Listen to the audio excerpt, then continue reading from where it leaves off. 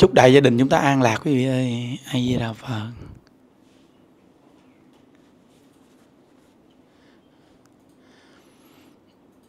À, đây gọi là à, đạo tràng cư sĩ tổng hợp. Nghĩa là đạo tràng à, già trẻ bé lớn có hết luôn quý vị. À, nhìn đi. Bé nhỏ nhỏ ta giỏi lắm nha à, nhưng giỡn đâu. Nhưng như đòn câu chuyện mấy bé nhỏ nhỏ nhỏ nhỏ nhỏ ha, trai ha. Lại phật ngon lành luôn. Ừ. niệm phật lại phật ngon lành luôn. Ừ. nhưng mà đòn à, bé diệu minh rồi ha. Nó mấy nhỏ nhỏ rồi mấy trai gái nhỏ nhỏ rồi lại phật quá trời lại phật đặc biệt không? Rồi à, con bé tư rồi mấy đứa nhỏ nhỏ rồi nó lại phật quá chàng luôn. Thấy không? Nhiều lắm nó, nên nó rất là nhiều bé đại diện à, nêu một hai à, đòn thôi ha. Mấy bé à, đòn kim liên đồ này kia rồi gia đình. Nên là cách này hay. Gia đình nếu được bốn năm người cũng là một đạo tràng cư sĩ.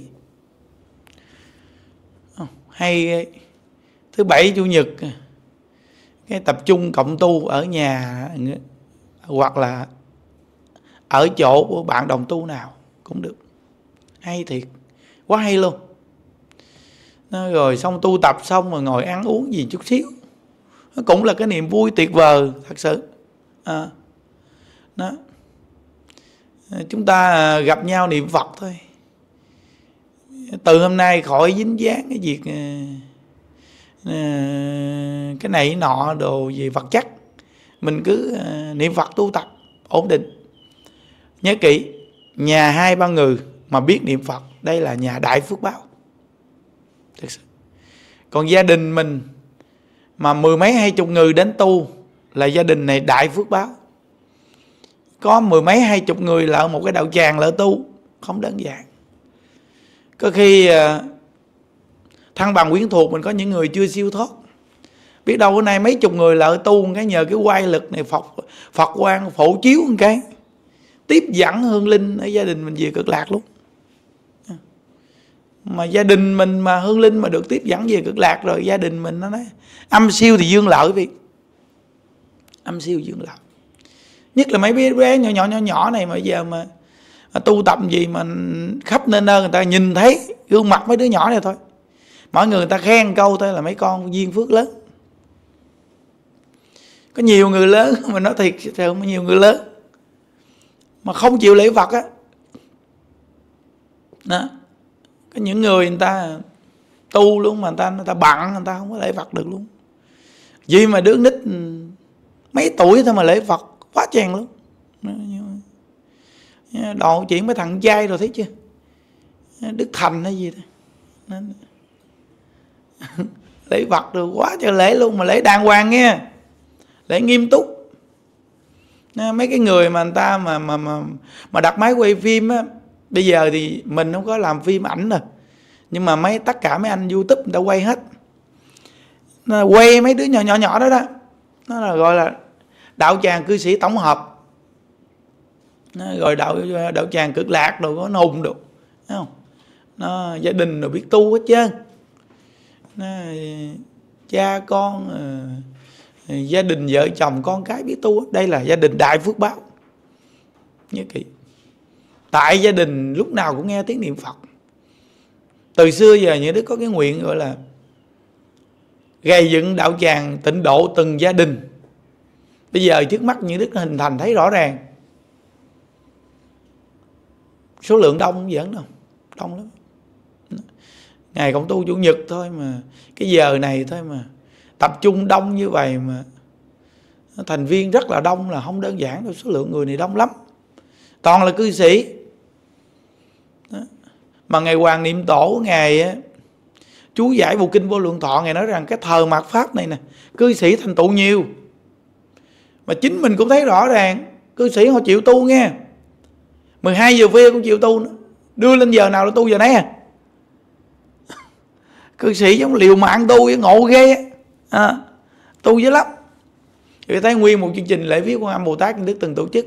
Mấy chục ngàn con người mà quý vị thấy đa phần cư sĩ chịu tu chưa? Tu lăn lộn luôn. Mấy ngày mấy đêm mới tu. Tu mặt mày bơ vờ cũng tu luôn. Nó, bây giờ thì tu quá khỏe rồi. 12 giờ khuya rồi tối tu có tí đồng hồ khỏe ré. Chưa? Lên tu đông lắm nghe hồi tối mà. 12 giờ khuya mà cũng tám ờ, tám trăm thành viên tu giảng đâu. Nó bây giờ những đức thêm cái thời khóa mà ờ, à, 21 giờ tối là 9 giờ. Nó là thời đó những đức tu thêm thời đó nữa đó. Là giờ những đức à, ngày là năm thờ. Còn thứ bảy à, mỗi tuần thì thêm thờ. 12 giờ phi là 6 thờ tịnh độ. Nó, rồi mỗi ngày bấm số niệm phật. Ngày bấm số niệm phật.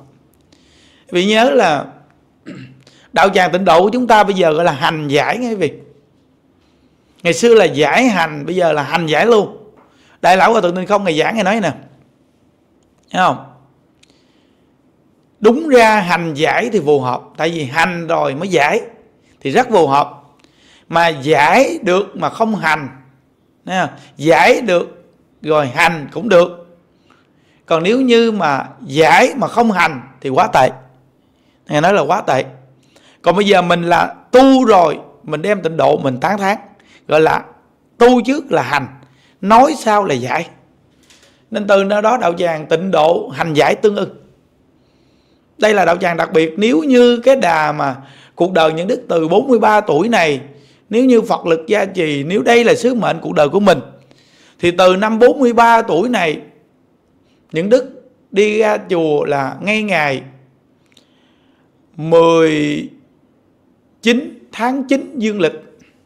Ngày âm lịch là ngay ngày 17 tháng 8 âm lịch 2024 đó, có nghĩa là chu kỳ của những đức đi tu năm 2009 5 năm sau 5 năm sau là những đức đi.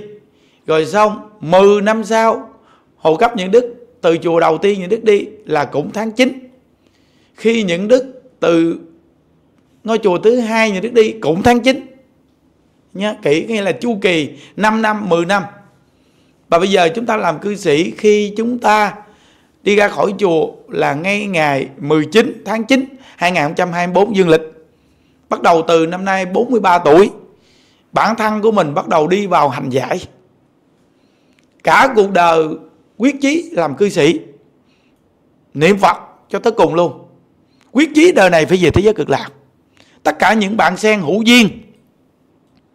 Chúng ta mỗi ngày cùng tu tập trên room, trên mạng internet. Và chúng ta không đề cập những việc dính dáng vô cái việc phật sự cũng dường gì hết chúng ta đều mỗi người tự làm, tự có cuộc sống, tự tu tập. Có duyên gặp nhau, đúng là tay bắt mặt mừng. Tình nghĩa anh em huynh đệ và chúng ta tôn đức thích ca mâu ni làm bậc thầy ở cõi ta bà này. Và ngài chỉ chúng ta niệm ai với đà phật để cầu sanh cực lạc, chúng ta tôn đức phật a di đà làm bậc thầy. Và những đức cùng quý vị là những bạn sen, cũng là những bạn sen là bạn đồng tu, thật sự 100% là bạn đồng tu. Chúng ta là bạn đồng tu từ bây giờ cho đến khi ra đi, đều là hướng về thế giới cực lạc ai về thế giới cực lạc trước. Đó. Thì trở lại rước người ở đây. Về sau. Thí dụ như những đức về trước, thì nhất định quý vị, tới ngày giảng sanh những đức sẽ theo phật a di đà đến đi rước quý vị. Còn nội trong đây quý vị, ai là người đi về trước, thì những người giảng sanh sau quý vị sẽ đến để tiếp dẫn những người đó về thế giới cực lạc sao quyết định chúng ta trở thành đạo tràng cư sĩ tổng hợp nghĩa là đạo tràng này, bất cứ người nào cũng có thể niệm phật được. Người đúng hoàn toàn niệm phật cũng tốt, càng tốt. Người làm việc sai, quay đầu niệm phật cũng tốt. Người khỏe mạnh niệm phật cũng tốt. Người bệnh đau niệm phật cũng tốt. Tặc nguyên niệm phật cũng tốt. Có nghĩa là hạng người nào cũng vào có thể niệm phật được. Gọi là đạo tràng tịnh độ cư sĩ, tổng hợp. Tất cả hạng người nào cũng có thể tu tập được và niệm phật được không có một cái quy chế gì khó khăn đối với người nào hết. Tự mỗi người tu, mỗi người tự khuôn khép chính mình. Chỉ cần nắm chắc câu vật hiệu, dùng câu vật hiệu làm kim chỉ nam, để chúng ta tự giống như mỗi ngày niệm Phật giống như là tắm rửa cái tâm của mình. Tự dùng câu vật hiệu để sửa đổi chính bản thân mình. Nên không có những quy tắc gì đặt ra nặng nề, không có trở ngại ai cả mỗi người tự tu lâu, tự mình sẽ kiểm định được cái tâm của mình. Đó là chỗ quan trọng nhất. Nên đạo tràng này sẽ hình thành rất là phát triển mạnh là ngay chỗ nào? Là vì người ta thấy người ta có cơ hội. Thấy có cơ hội tu được và thấy tu có cơ hội được giảng sanh. Nhớ nghe. Có nghĩa là ai tu cũng thấy mình có cơ hội được giảng sanh. Vì nguyện thứ 18 là trung tâm của 48 lời đại nguyện mà Đức Phật A Di Đà ngài đã phát lên rằng chỉ cần một chúng sanh nào tạo tội nặng nề cỡ nào, chỉ cần nghe được danh hiệu A Di Đà Phật, quay đầu chăng thật niệm, chí tâm tin ưa. Chí tâm là một câu vật hiệu niệm đến cùng. Tin ưa là càng niệm càng thích. Chỉ cần người này nắm chắc câu vật hiệu, gầy dựng ngay bổ nguyện di đà tính nguyện kiên cố, dù trong cái thời gian tu có gặp sự trở ngại gì, chúng ta cũng cứ niệm Phật khi bỏ báo thân này chỉ cần niệm từ một niệm đến 10 niệm, thì Đức Phật A Di Đà sẽ tiếp dẫn chúng ta về thế giới Tây phương cực lạc. Trừ những người không niệm Phật. Nhớ kỹ nghe quý vị. Nên ai trong chúng ta niệm Phật cũng có cơ hội được giảng sanh. Nên có một vị hòa thượng ngày nói một câu rằng, lúc trước tới giờ tôi cũng niệm Phật, nhưng tôi thấy không có cơ hội vì nghe những vị giảng. Tuy là nói niệm Phật dễ mà tôi thấy tôi làm cũng không được nhưng từ khi đọc bổ nguyện niệm Phật của ngài Thiện Đạo Đại sư hoặc ngài Pháp Nhiên Thượng Nhân, thì thấy rằng mình có cơ hội, mình đều có cơ hội được giảng sanh. Thì phải nhớ rằng, Đức Phật A Di Đà ngài dùng cái sợi dây mà ngài kéo chúng sanh là chúng sanh nào, là những chúng sanh tạo tội nghiệp như chúng ta ở cõi ta bà này. Quý vị hãy tự ngồi suy nghĩ là những người ở đây đi, mấy mươi tuổi đi mình đã tạo tội nghiệp không phải đời này mà là nhiều đời nhiều kiếp tạo tội nghiệp nặng lắm.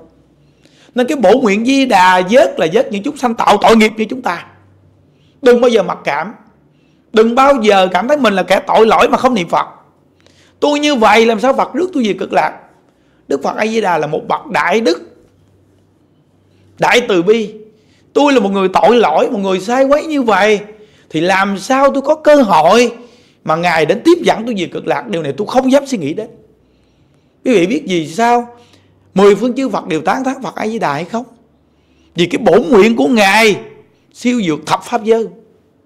Cái bổ nguyện của phật a di đà quá thù thắng. Chưa có cái nguyện của một vị phật nào mà phát nguyện như phật a di đà tất cả vị phật phát nguyện đều là quý vị phải tự tu. Tiêu nghiệp sạch sành, sanh mới thành tựu của đường giảng sanh chỉ có đúng phật a di đà là mang nghiệp giảng sanh. Mà mang nghiệp giảng sanh là ngay chỗ nào? Là tính nguyện. Tính nguyện là đừng bao giờ mặc cảm mình lỡ sai quấy. Đừng bao giờ là cảm cảm lỡ bị giận ngại là cái nguyện thứ nhất. Ông bốn tám người đại nguyện. Phật A Di Đà pháp nên rằng chúng sanh này tạo tội nghiệp. Những bị đọa địa ngục nhưng mà nghe danh hiệu Phật chẳng thật quay đầu niệm Phật. Đức Phật A Di Đà dẫn tiếp dẫn chúng sanh nó về cực lạc khi về cực lạc rồi không bao giờ trở lại bị thối đọa nữa vì thế giới cực lạc, không có địa ngục, ngạ quỷ và súc sanh. Nên khi chúng ta về cực lạc, chỉ có tiến tu thành Phật đạo, không còn bị thối đọa nữa. Quý vị coi, mỗi một lời nguyện là chúng ta đều có cơ hội hết. Mỗi một lời nguyện là chúng ta đều có cơ hội hết. Nên người niệm Phật của chúng ta đều thấy mình có cơ hội niệm Phật được giảng sanh. Nên chỗ gây dựng tính nguyện là chỗ cực kỳ quan trọng. Như Hòa Thượng Hải Hiền 92 năm niệm một câu Phật hiệu. Gặp bao nhiêu sự trở ngại chùa chiền có khi bị đập phá. Người xuất gia bắt phải đi hoàn tục. Ngài phải đi vào đội sản xuất. Người ta hỏi ngài còn ăn chay được hay không? Ngài nói làm sao mà cho mình ăn chay? Gấp rau trong thịt mà ăn. Đây là tâm chay thật sự. Tâm chay thật sự. Hỏi ngài, người ta có cho niệm phật hay không? Ngài nói không bao giờ. Vì ngài phải làm sao? Chăn trâu thì ngồi trên lưng trâu niệm phật lùi dịch, thì lùi dịch ra cho dịch ăn. Rồi xong, ngồi chỗ nào niệm phật. Người ta không cho niệm phật ra tiếng niệm trong tâm. Người ta không cho lễ phật bằng ngày, lễ bằng đêm. Ghê chưa? 92 năm, niệm một câu Phật hiệu từ khi gặp Phật Pháp. Người thầy truyền trao cho một câu Phật hiệu. Ngài đã gây dựng niệm 92 năm. Đại lão Hòa Thượng Tịnh Không là một bậc Tu hành mà khắp nơi trên thế giới đều biết. Tán thán. Và bái Hòa Thượng ấy Hiền làm thầy. Sự thanh tú của Hòa Thượng ấy Hiền cực kỳ thù thắng. Nếu mà so sánh về cái việc mà hiện tướng thành tụ Thì hiện tướng thành tụ thù thắng hơn Hòa Thượng Tịnh Không. Vì ngài để là toàn thắng xá lợi, hòa thượng tịnh không thì không để lại. Nhưng hòa thượng tịnh không lại là thông tông thông giáo, giảng kinh thuyết pháp, hoàn truyền tịnh độ khắp nơi trên thế giới đều biết. Nhưng thì hiện thành tựu thì không bằng hòa thượng ấy hiền ý muốn nói gì? Ý muốn nói cái việc làm của hòa thượng tịnh không? Không mấy người làm được. Nên ngài mới thể hiện đẩy hòa thượng hãy hiện lên, thành tựu thù thắng, để cho người sau này nhìn theo đó, biết rằng một câu Phật hiệu này thành tựu cực kỳ thù thắng. Và thượng chung hạ đều làm được, ai cũng làm được. Nên bổn nguyện niệm Phật là ngay câu Phật hiệu để thành tựu con đường giảng sanh là một trăm phần trăm nhớ kỹ nghe quý vị. Nên quý vị coi một cái đạo tràng cư sĩ tịnh độ mà bao gồm hết những con người ngồi trong đây. Tổng hợp. Đứa con nít nhỏ xíu cũng ngồi tu được. Quá thù thắng. Lễ phật quá chèn thù thắng. Con nít mà lễ phật, lúc xưa những đức gặp một người này, họ xuất gia, họ gặp một đứa nít lễ phật họ hỏi rằng, con nhỏ xíu xíu gì, con lễ vật, để làm gì? Đứa nít nói rằng, con lễ vật cầu sanh cực lạc. Người xuất gia nói, con nít mà cầu sanh cực lạc, không đơn giản. Đừng cười, đứa nít này nghe, nó không đơn giản đó. Tuy đời này nó nhỏ như những đời trước nó tu dữ dội lắm. Nó tu còn hơn là công chủ nữa. Rồi nó tái lai lại, nó con nít thôi mà nó đang ngồi niệm phật rồi, quý vị coi.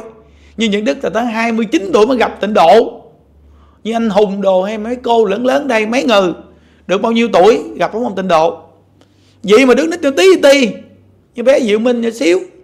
Đòn câu chuyện ba ông thằng trai nhỏ nhỏ. Mà ngồi đây niệm phật. Quý vị nghĩ đi, những đời trước nó tu cỡ nào chưa?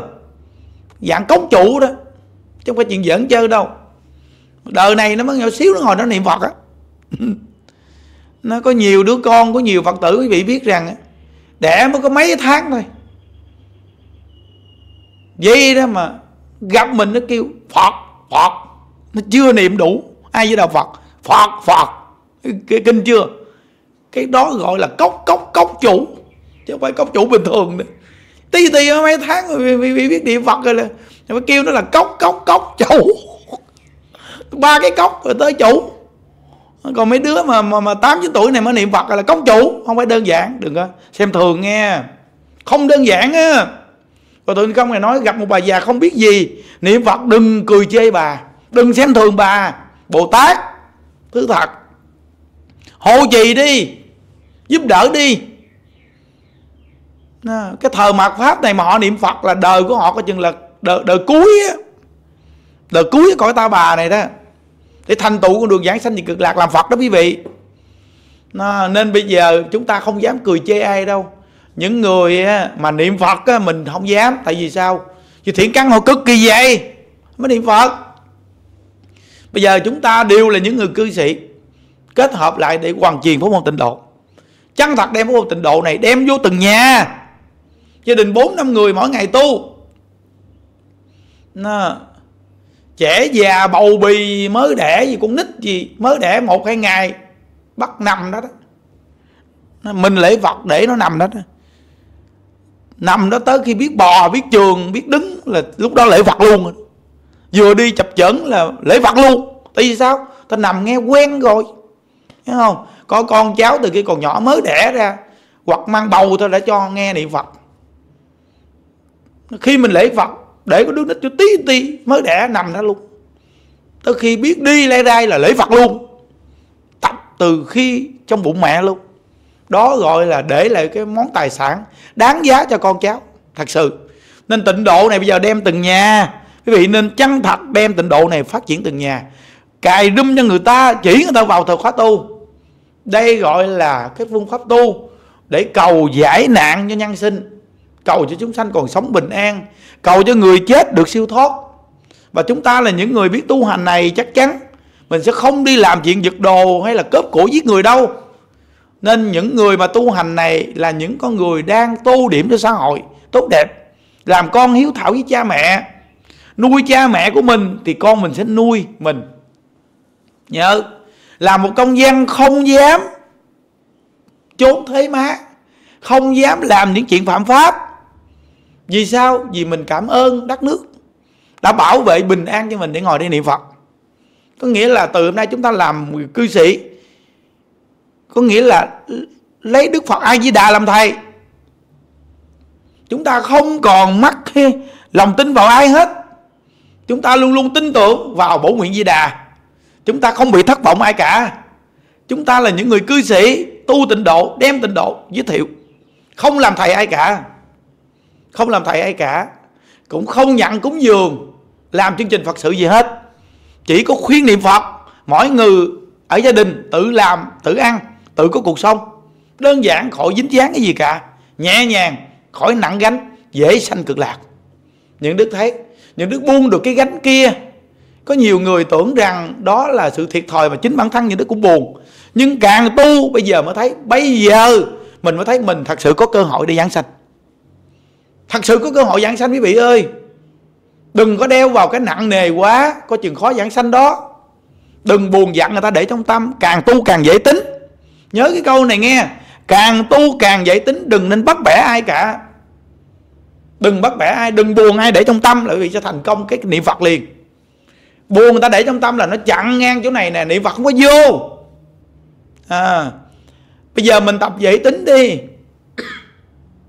Sau này mình lớn tuổi người ta nuôi mình dễ. Mà mình cũng dễ giảng sanh mà giảng sanh đẹp nữa.